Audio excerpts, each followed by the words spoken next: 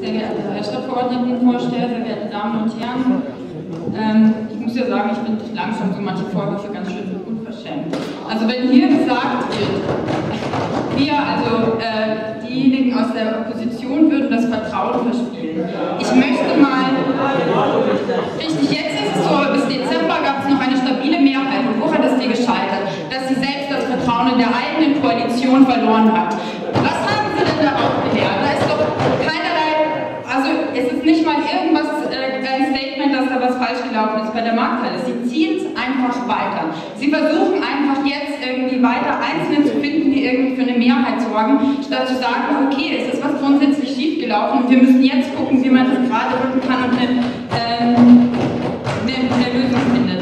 Zweitens, Herr Geselle, Sie hatten auch nochmal gesagt, dass Sie vorher ja versucht hatten, das auch mit den jetzigen äh, Markthallen GmbH zu äh, lösen und da keine Signale erhalten haben. Da frage ich mich schon, ob denn vielleicht dann auch schon vor der Vergabe klar war, dass Sie die Markthallen GmbH dafür nicht haben wollen, sondern dass Sie lieber einen Investor wollen.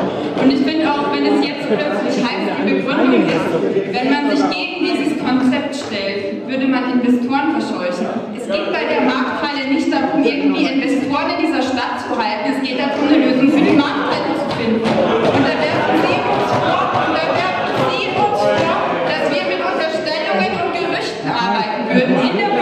Bürgerversammlung hier war der Raum voll.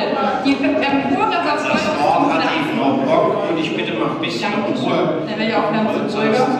äh, verstehe ich hier oben auch gar nichts mehr.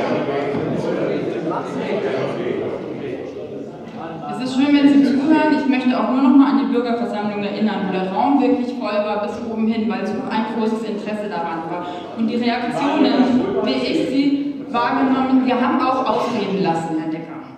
Und die Reaktion, wie ich sie wahrgenommen habe, war nicht, dass da alle total mit dem Konzept mitgegangen sind, sondern dass es da durchaus auch Kritik daran gab, dass der Beschluss, wie er in der Stadtverordnetenversammlung war, nicht umgesetzt worden ist.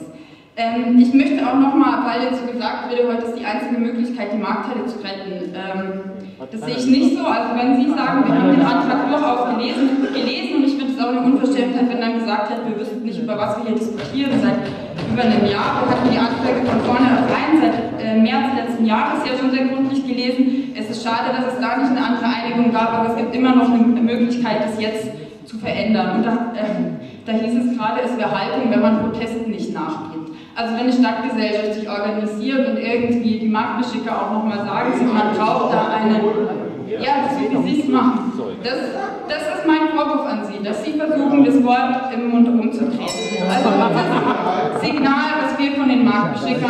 Gesellschaft erhalten haben, ist, dass es da keine große Zufriedenheit gibt, wie es jetzt läuft.